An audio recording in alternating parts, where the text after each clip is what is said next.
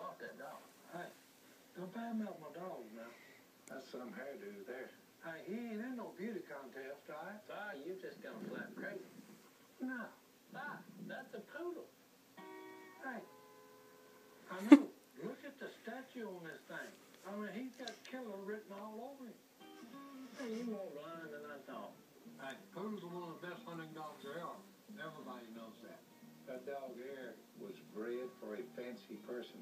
And by the way, poodles, they don't give a rat's behind about what other people think about them.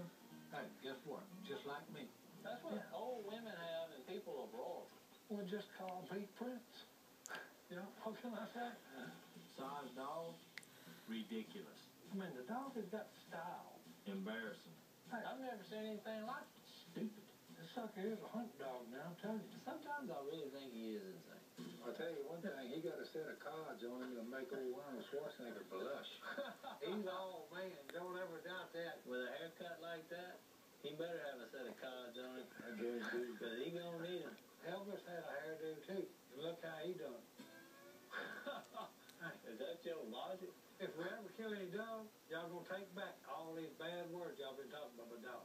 Oh, we got one that's blind. He's leaning, he's leaning, he's leaning, trying.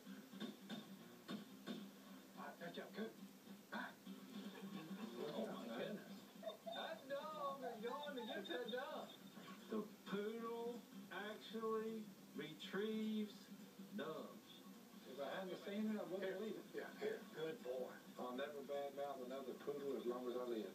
We might all break out with the poodles if we can get past the embarrassment of having them ride in your truck with you. Somebody see you with a poodle, that's a kind of a scary thought. Good work, killer. Good dog. That right there? Hey, that's a Si Robertson dog. I think Si's found his soulmate. Well, what's the Fancy